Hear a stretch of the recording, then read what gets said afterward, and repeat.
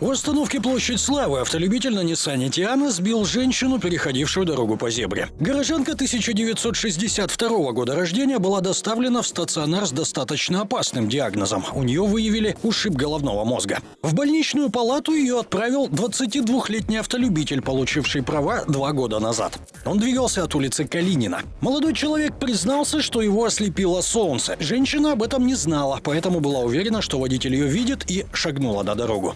Очевидцам показалось, что горожанка торопилась на автобус, который стоял на противоположной стороне дороги. Шофер Тианы направлялся в гараж. По просьбе родителей он должен был поменять на машине матери колеса. За руль он сел трезвым. Это подтвердил алкотестер.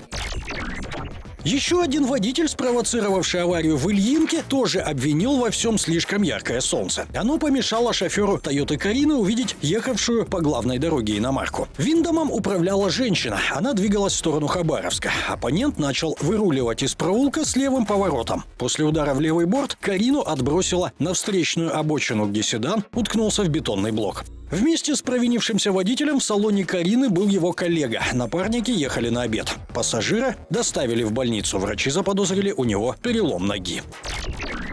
Водитель с 40-летним стажем разбил свой автомобиль в аварии на улице Промышленной. 75-летний хабаровчанин на Тойоте Аурис допустил ошибку, достойную новичка. Он стал разворачиваться прямо перед ехавшим в попутном направлении грузовиком. Пенсионер был уверен, когда он посмотрел в зеркало заднего вида, дорога была свободна. Ну, далеко там шел транспорт. э, Достаточно было, чтобы мне сделать вот этот маневр. Но он уж быстро ехал очень. Шофер Nissan Atlas с утверждением о превышении скорости готов был поспорить. Аргументом стала запись регистратора, установленного в кабине грузовика. Водитель Ауриса, выехав из парковочного кармана, сразу же принимается разворачиваться, будто не видя нагоняющий его в нескольких метрах Атлас. Оба участника аварии остались невредимы.